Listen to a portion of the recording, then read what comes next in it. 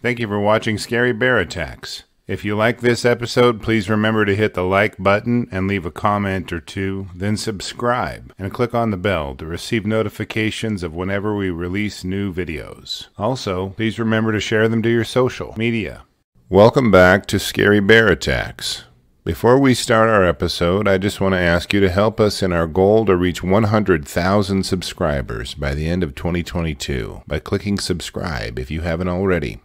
Today's episode takes us to West Yellowstone, Montana, and specifically to the headwaters of the Madison River, which eventually leads to the Mississippi River. The mountains of western Montana are topped with rocky peaks standing over valleys crowded with pine and fir forests.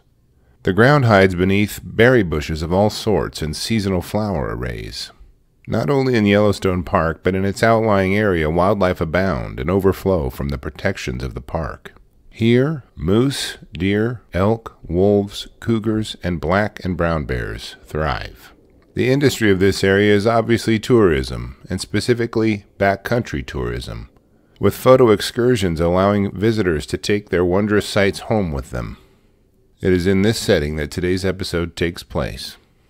On April 15, 2021, Charles Carl Mock was doing what he loved, where he loved to do it. Mock was drawn to Yellowstone National Park from early childhood. He was fascinated with the rugged remoteness of the park, and when he was 30, he moved there just to be closer to the area that he loved.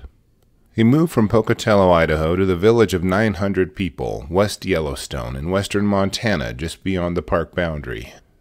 When he was about 30 years old, he got a job at Backcountry Adventure as a snowmobile tour guide in the backcountry of the park.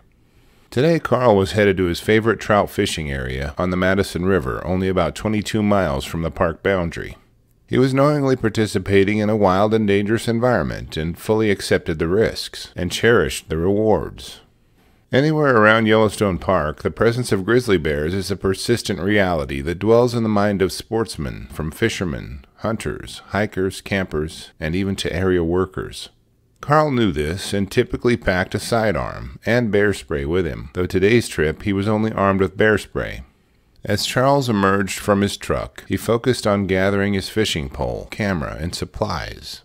As he was packing, the peace that he always felt here enveloped him. He picked up his tackle box, pole, and other important items and began to hike down the trail. He was only about a half a mile from the stretch of the river that he wanted to fish after exiting his vehicle. As he walked along the trail, he kept a wary eye out for any number of dangerous animals, as the park was only a few miles to the east. Bison, grizzly bears, and moose have been involved in attacks in the prior years, and Carl didn't want to have any problems. Through the years, he had faced down several bears, Carl and his friend Riley had run ins with bears and even had bluff charges meant to intimidate them, but they were always just bluffs, and the men simply went about their business afterward with nothing serious having ever happened. As Carl walked along the riverbank, snapping photos of the beautiful scenery and looking for a good spot to dip his line, he unknowingly walked into one of the most dangerous situations he could have found. In the prior days, a large boar grizzly bear had either found or killed a moose that it was now claiming as its prize. The bear defended this food source to the point of killing and partially eating another grizzly, and was still enraged and irritated from the event. Given that Carl was by himself, he only had one set of eyes and ears watching out for danger. As he skirted a stand of timber, Carl heard a loud woof. Having recognized it as a bear, he likely stood up and surveyed the area around him for the upset bear. Carl pulled out his bear spray as a precaution and prepared for what is typically a very tense standoff.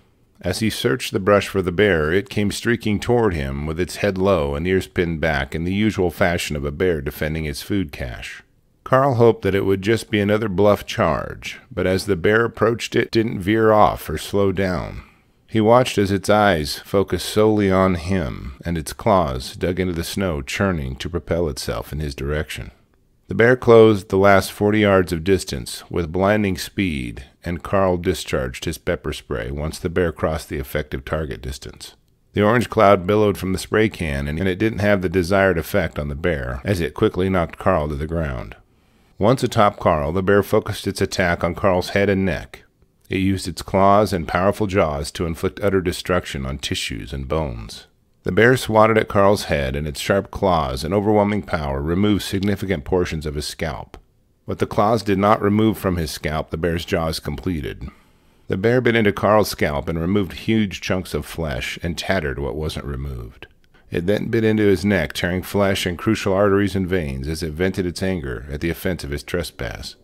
Carl lifted his hand to protect his head and neck, but the bear simply crushed it into useless, disorganized lumps of bleeding flesh. It took his head in its mouth and tried to crush his skull, but was only successful in punching one of its canine teeth through it.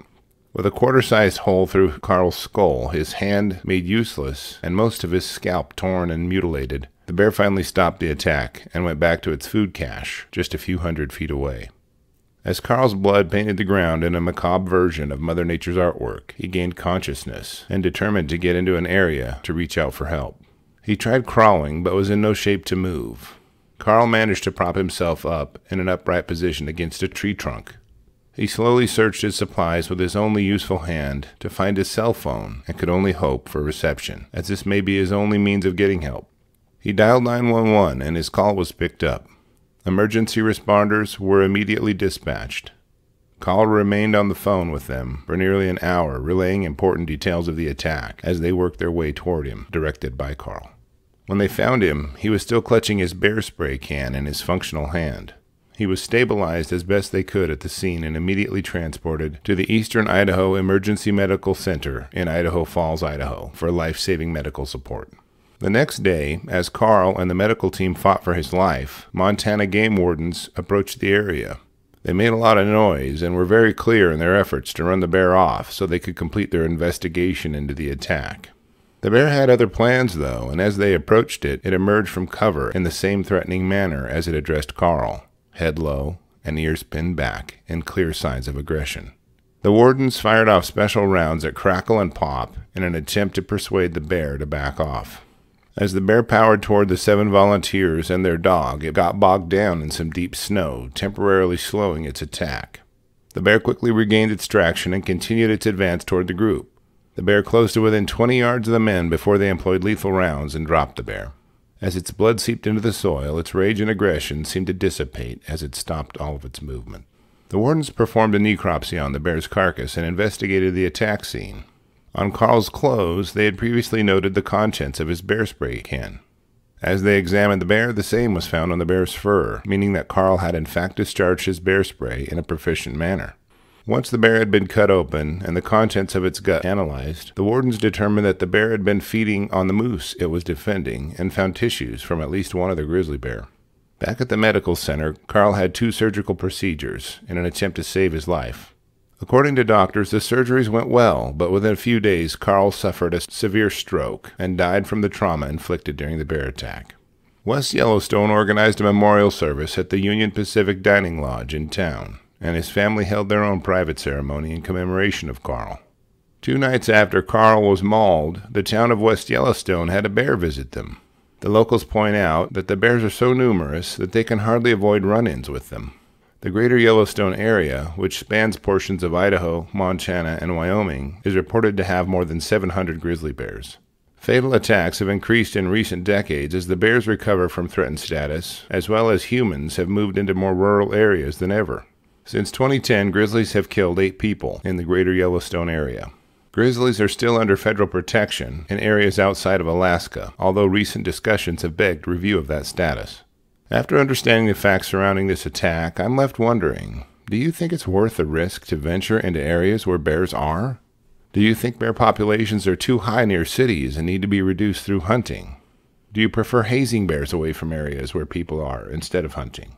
Should bears that have attacked and possibly eaten people be allowed to go free, or is there a useful aspect to the removal of such animals from the populations? Please let us know your thoughts in the comments below. If your comment is the most liked comment in seven days from the posting of this video, you will receive a $50 credit to use at our merch store. We want to make sure to thank our patrons who've committed to supporting us with a monthly contribution. Thank you, Dina White, Cole Rodriguez, Aurora, April Donovan, Ryan Cernicki, Char, Chris Marlar, Wayne Washington, Fluffy Feet, Cheyenne, Greg Schaefer, and Drone Adventures. Your support means the world to me. Our merch store is being revamped due to fulfillment problems, and we're getting online with a new fulfillment company, so I'll keep you posted on it as we get it up and running again. If you enjoyed this episode, please consider showing us by liking and subscribing to our channel. Clicking on the bell icon will let you know when we release new episodes, and sharing our videos on your social media platforms spreads awareness. As a valued member of our human community, I hope you will adventure bravely and remember to be safe out there, especially in bear country.